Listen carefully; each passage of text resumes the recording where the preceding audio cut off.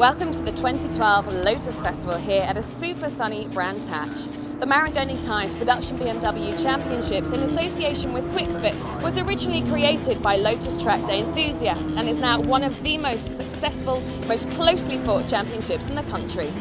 Weather is glorious, 40 cars bumper to bumper grid, looks set to be a fantastic show.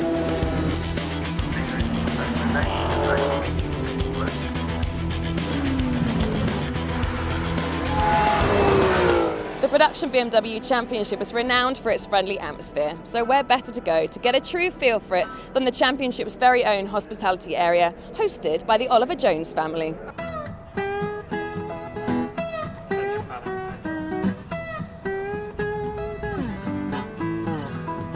My mum does all the food for the series, so we provide uh, breakfast in the morning, um, which is usually bacon, um, bacon sandwiches, um, and they, everybody comes over whenever they wake up. Um, and then mum will usually announce that there's a time at, you know, usually one o'clock when lunch is for the rest of the, the racing as well. And then in the evening as well, she'll provide a food um, about seven, eight o'clock-ish um, as well for everybody. But at lunchtime, everybody turns up. You get the children, the mums, the dads, the wives, children, you know, everything.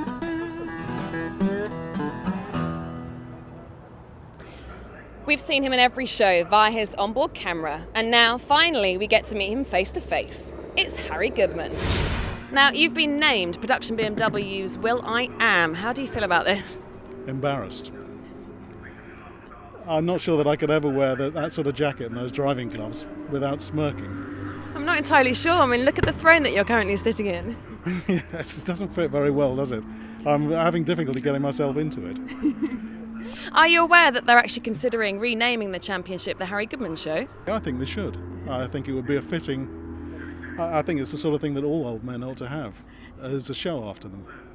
Love it. Now, on a slightly more serious note, tell us about qualifying. It was a bit of a mess, wasn't it? I'd made all that effort to get to the front of the grid to be out first, and then I threw it all away on the first lap. It was pathetic. Well, hopefully you'll do better in the race, but uh, how is the championship going for you generally? Actually, it's going a lot better than I expected. I've got a lot of people to thank, a lot of people who put a lot of effort in both building the car and running the car, in the case of Rob and uh, plenty of other people, including Ben, who's been helping me a lot. It's been uh, it's very satisfying for an old man to do this. It's uh, I, I, cannot tell you how good it's been. It's uh, yeah, the season's going better than I expected, and it's uh, it's just a lot of fun. Well, is today going to be a good day then for Harry Goodman as he takes his position on the grid. But about the front row? Ben Winrow and Mike Tovey, the two championship rivals. Then Liam Crilly with a new set of tyres this weekend, his second of the season. And Miles Howard on row two with Harry Goodman and Stuart Waite row three. Away they go. It's a brilliant start from Tovey in the orange car as he jumps over the white machine of Ben Winrow. Also with the way the red car of Liam Crilly as Tovey squeezes Winrow. Oh, they make contact around goes Mike Tovey as they head towards Paddock Hill Bend. He's going to kiss the Armco, but more importantly, be at the back of the pack as Winrow holds his ground through Paddock. He's got the inside line climbing up the hill towards Druids, and Liam Crilly tries his might. Couldn't quite find a way through as we're three wide in the midfield. It's not really news in the production BMW Championship as down towards Graham Hill Bend. We've got Stuart Waite, then the newcomer car, 132, the Union Jack Roof. That is the XMX5 racer, Charles Plumley, and then Harry Goodman as the rest of them stream through there is Mike Tovey recovering at the very back of the field as the rest of the pack stream in search for the first time the silver car of Ian Russell at the head of that queue, number 18. Down Pilgrim's drop then, and it's Ben Winrow, the former Clio Cup, former Bath Trofeo champion, leads the way from Liam Crilly. That's Miles Howard who's come up to third, Stuart Waite in fourth. There's Alan Wildman looking to gain a little bit of ground Simon Glenn, the silver car, he's got the blue machine of Jack Gabriel right up on his tail. Also, one of the championship front runners, Matthew Parks, but Parks a long way down the order, so he's got ground to wake up as they almost go three wide, climbing up the hill towards Sheene Curve, and it's a place gain for Stuart Waite. Up the inside, Miles Howard, who slithers a little bit wide. That could allow Charles Plumley through as well, as they do go three wide into Surtees. Harry Goodman tries to squeeze around the outside as well. Nothing doing there as the rest of the pack all stream through. Such a lively start to this race. Very entertaining. So they're all safely through all sounded tyres. Somebody's gone around, it's Lauren Can. So she is going to rejoin, unfortunately, at the back of the pack in the 199 car. Lauren in her first season of motor racing and still learning her way as we go in car with Harry Goodman as he pulls out of the slipstream behind Charles Plumley, accelerating along the Brabham Straight for the first time of asking. Got the outside line, Paddock Hill bend. If he makes that move stick, that will be amazing. And he does. He breaks very, very late and swoops around the outside. That's an absolutely brilliant move from Harry Goodman. Very bold to challenge at Paddock Hill Bend, particularly in such evenly matched cars. He then has to jink to the inside line, cover off the attack from Charles Plumley as they climb the hill towards Druids.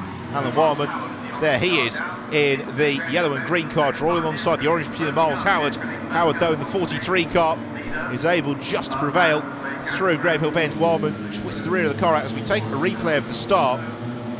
And Tovey really squeezed Ben Winrow into the Armco. I don't quite know how much more Ben Winrow could have done about that. In car from Mike Tovey.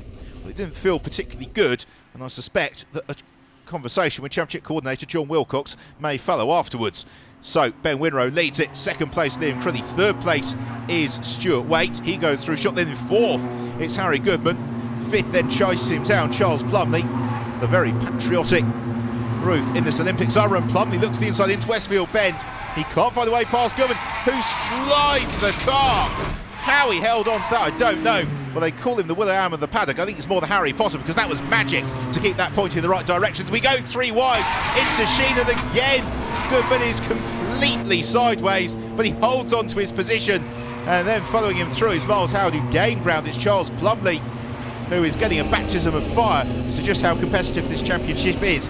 As climbing up into the top 20 now is Mike Tovey. He moves ahead of Aaron Morgan.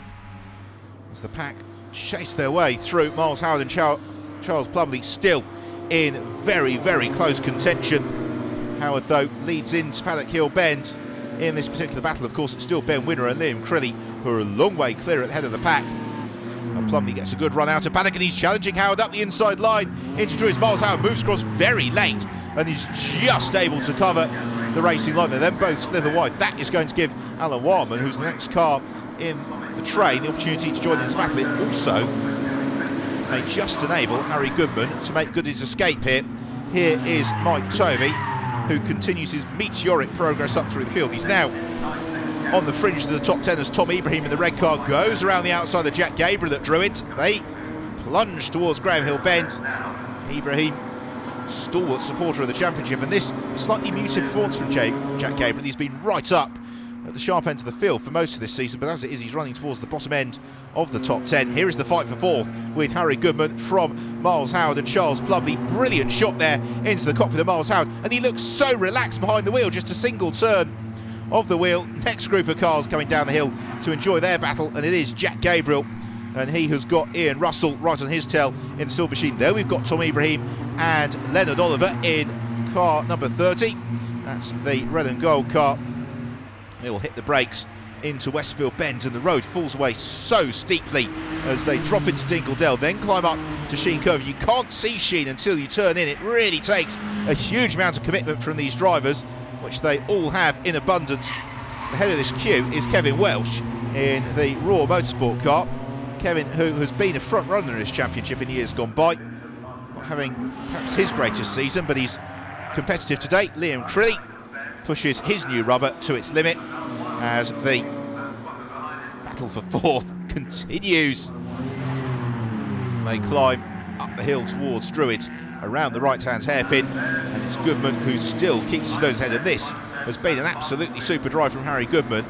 And on form like this, you have to say that that podium and that race victory may not be too far away for Harry.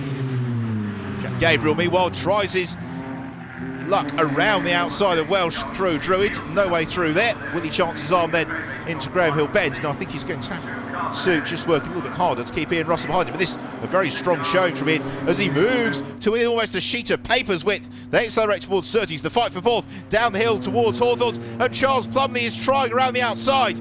But Miles Howard's got the track position. He's got the inside line. And Plumley just couldn't quite carry the pace. He then switches the inside line on towards Westfield, though he's not near enough. And what is just so impressive about this race is how clean it is. We've not seen any contact. These drivers go wheel to wheel at very high speed, but we're seeing them giving each other respect and racing room. And there's certainly some big name touring car championships that could learn a thing or two from the Marangoni Tyres Production BMW Championship when it comes to close, clean and competitive racing. Sideways is Matt Swaffer. Anything Swaffer can do, Alan Wildman could do even better as he plunges into the gravel trap at Sheene. Will he rejoin? Yes, he will. That's not a section circuit you want to go sideways as there was Mike Tovey. He's into the final lap. So who is going to get fourth? It could be any of these three or none of them, such is the way that this battle has gone. But it's Harry Goodman who is still just there in fourth. Miles Howard in fifth. Then Charles Plumley completes the top six as things currently stand, accelerating out of Graham Hill Bend. Meanwhile, Kevin Welsh has still got Jack Gabriel bobbing and weaving every which way around the outside he looks and this time he's much closer but he can't draw alongside on the extra Druids but they both head out over the rubble strips into Graham Hill Bend and Kevin Welsh pushing very hard sliding the car on those Marangoni tyres as they accelerate out of Graham Hill Bend. Meanwhile, into Hawthorn's Plumley around the outside of Miles Howard. Oh, that's brilliant from Charles Plumley as we ride in car with Mike Tovey. He is up onto the tail of Matt Parks, trying to gain ground. Will he be able to do it? He fights the wheel a little bit as Ben Winrow comes across the line and takes the checker flag. So it's a victory for Winrow. It's an adventure for Ian Russell. Oh, that was almost an enormous accident. He somehow kept it out of the Armco as what about this midfield battle? It's Kevin Welsh who's going to come through in 12th, but for 13th it's a drag race to the line, and Stephen Carter just gets his nose ahead of Tom Ibrahim to snatch the position. So at the end of an absolutely fantastic race, it's victory for Ben Winrow, second place to Liam Crilly. Stuart Waite completes the podium. Harry Goodman did hold on for fourth, and Matt Swaffer snatches sixth after a last lap drama for Charles Plumley. Well, delighted Ben Winrow, all smiles on the top step of the rostrum. And that's only half their work done for today. Join us after the break for race two from Brands.